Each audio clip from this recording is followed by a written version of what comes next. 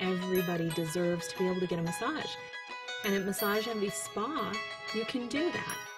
Getting a facial or massage shouldn't just happen once a year on your birthday or on a holiday.